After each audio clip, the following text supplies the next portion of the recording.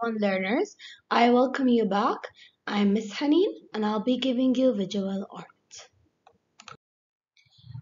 Let me introduce you to theme two, where the center idea is humans choose various ways to express their thoughts, emotions, and feelings. In art, we will be uh, using colors to express our thoughts, emotions, and feelings.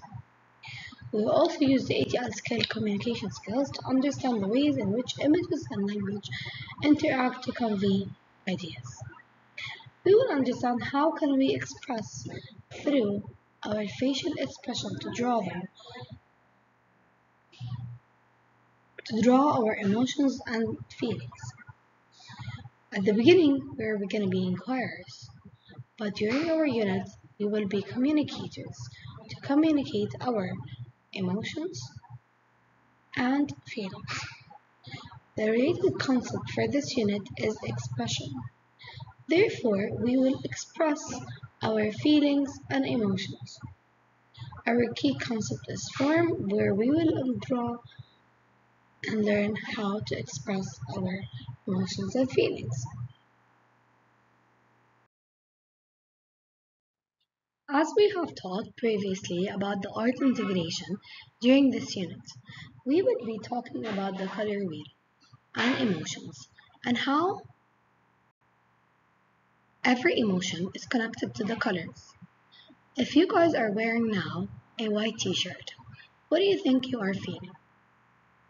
Do you think your white t-shirt reflects what you are feeling now? If you're wearing a red t-shirt, do you think you're angry? Or your t-shirt is not reflecting what you are feeling?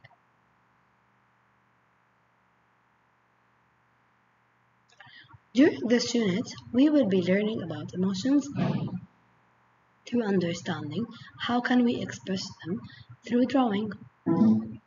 If we drew a facial expression that's sad, if you look at the right, and you see the first picture, which is sad, do you think how did I know that this is sad?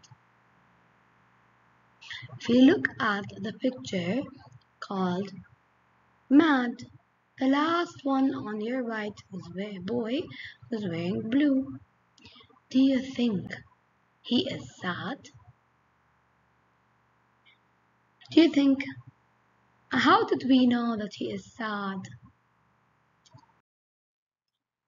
During this unit, we will be introduced to our artist Pablo Picasso, where he shows in his artwork different expression, sad and happy. We will understand how did this artist show sad and happy in his artwork and how will you show your sadness or happiness or excitement any emotion or feeling that you feel. Things you will see during the art class. Of course, we're going to use colors, brushes, paper. I can't wait to see you. KG1 learners.